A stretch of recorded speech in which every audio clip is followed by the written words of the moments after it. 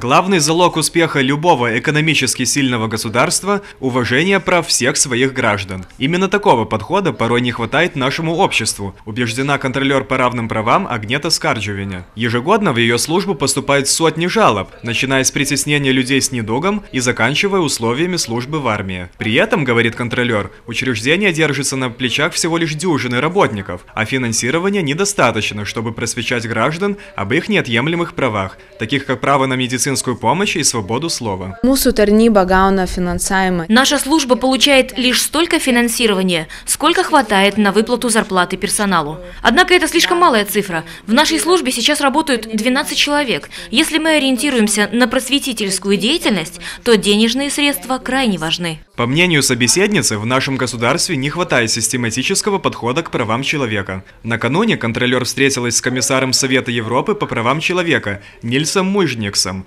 который дал понять, что нашему правительству следует серьезнее отнестись к этому вопросу. По утверждению Скарджевиня, в правительственной программе кабинета Саулюса Сквернялиса можно на пальцах пересчитать предложенные меры по защите прав граждан.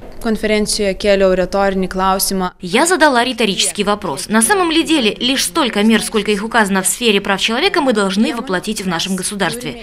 Их всего лишь четыре пункта. По моему мнению и глубокому убеждению, этого слишком мало. Многочисленные нарушения прав женщин и детей в нашей стране в последнее время все чаще оказываются в центре общественного внимания. В начале недели в парламентском комитете по правам человека признали, что каждая третья женщина становится жертвой домашнего насилия. Обеспокоенные общественники предлагают узаконить ордер, запрещающий агрессору контактировать с жертвой. Защитники прав детей, в свою очередь, призывают власти последовать примеру большинства других стран Европы и запретить все формы телесного наказания.